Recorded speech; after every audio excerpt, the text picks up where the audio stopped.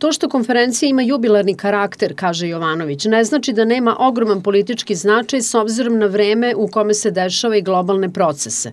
Značaj ovog skupa, ocenjuje uvaženi diplomata, ogleda se pre svega u širini i nivou gde učestvuju delegacije 104 zemlje i 9 međunarodnih organizacija. Skup se održavao u vreme kada globalne e, odnose karakterišu određene podele i e, da kažem, duboke razlike u vreme kada dominiraju i neke krize, kao što je energetska kriza, e, zatim pandemija COVID-19 i uopšte jedna atmosfera koja se ne može okarakterisati u globalnim odnosima kao poželjna. Za Srbiju ovaj samit e, daje veliku priliku e, za obnovu i učvršćivanje tradicionalnih prijateljskih odnosa sa nesvrstanim zemljama, e, bez obzira što je Srbija posmatrač u pokretu i nije punopravni član, ona baštinji sve najbolje tradicije i najbolje iskustva saradnje u pokretu nesvrstanih zemalja. Samit je prilika, kaže Jovanović, da Srbija učvrsti svoje prijateljstvo, intenzivira dijalog i obavesti nesvrstane o svom međunarodnom položaju i osnovnim ciljevima na međunarodnom planu.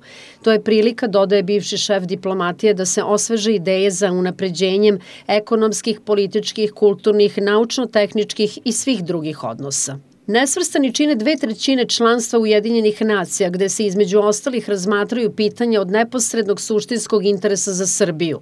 Tamo je u nadležnosti Saveta bezbednosti Generalne skupštine Ujedinjenih nacija jedno najvažnije nacionalno i državno pitanje Kosovo i Metohija. Sigurno je da e, će Srbija, prezentirajući svoju spoljnu politiku, njene prioritete, e, saopštiti i svoje stavove o mirnom, e, političkom, pravednom i održivom rešenju da. pitanja Kosova i Metohije.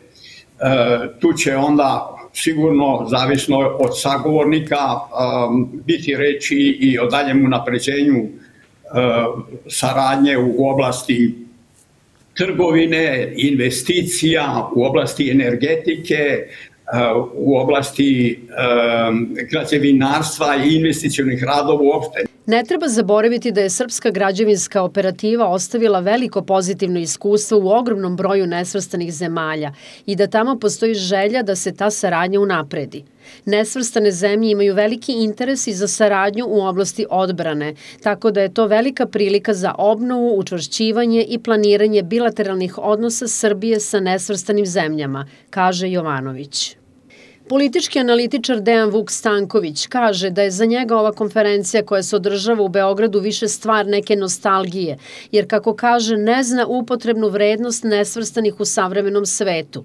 Ipak on posebno naglašava prisustvo Rusije, samitu u ulozi posmatrača.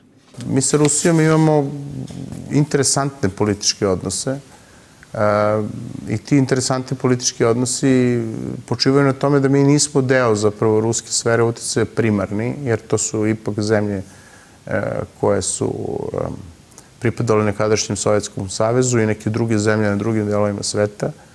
E, a opet na ovom prostoru jedino uporište Rusije političko je u pravom smislu te reči Srbija. Oni su izgubili svoj uticaj na Crnogoru, izgubili su uticaj na Bugarsku na način na koji su tradicionalno to imali, jer to su zemlje članice NATO-a.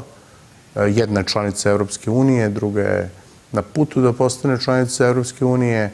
Dakle, izgubili su, imaju jako negativnu reputaciju uh, u zemljama koje su nekada bile deo Varšavskog pakta. Uh, ako gledate, recimo, Putinov status, na primjer, poslije deset godina, jedno mesto gde je dobrodošao u Evropi, Beograd, Jedino da. mesto gde je, bio na voj, gde je pravljena vojna parada je Beograd. Najveći, pretpostavljam, uvoznik ruskog oružja je zvanični Beograd. Mm. Rusija nama politički pomaže po pitanju Kosova.